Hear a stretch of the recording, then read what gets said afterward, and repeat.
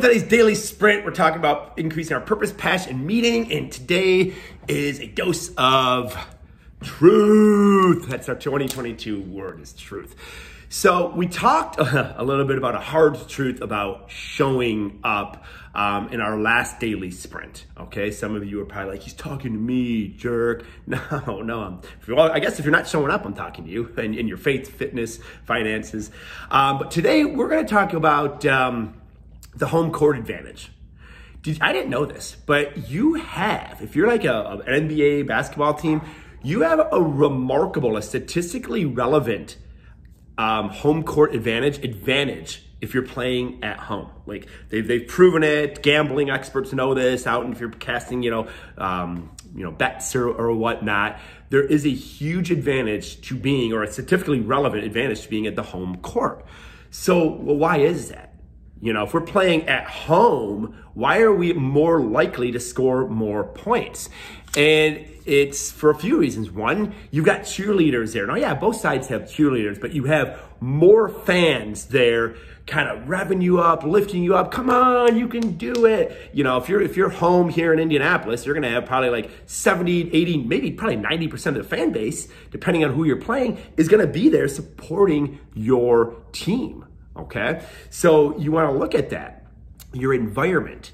So if you want to win at life, what environments, this is kind of part of showing up too. Are you showing up to environments that are lifting you up, that are challenging you, that are your fans? So if you're trying to get better at, at your faith, are you showing up to church where people are lifting you up, challenging you? They're your fans in business. You're trying to make more money. Okay. How do you expect to make more money? Without a fan base. Yeah, you could do it, but it's going to be an upstream battle because you don't have anyone around you. Matter of fact, if you're trying to make more money in your business, you probably have people around you telling you, don't do that. Come on, party with us. You know, money's the root of all evil or whatever it is that people without money would say. Okay. But when you show up to your business development program, they're like celebrating your success. They're your cheerleaders. That is statistically going to increase your business. So why would you not show up? Okay. Then you look at, well, who's coaching you? All right. When you are showing up, you're, you're, you're plugging into people, hey, who is coaching me? Okay. So we have environment, all right, is proven to increase. You have your coach, your mentor. How often are you drawing from that person's expertise? Are you drawing from it when things are like in the gutter? Oh my gosh, I need to relaunch my business. I haven't, I haven't plugged in in six months and, oh, you know, now the bills are adding up and I don't know what to do. Or have you been plugging in all along? So your coaches and your mentors are going to give you an unfair advantage. Okay. So showing up is going to give you an unfair advantage.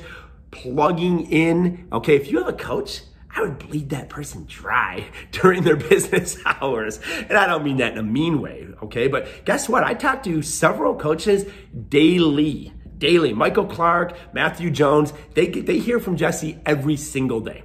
Every single day, sometimes, you know, maybe not so much on Saturday or Sunday, but they hear from me every single day, man. I am showing up because I want to be the best version of myself.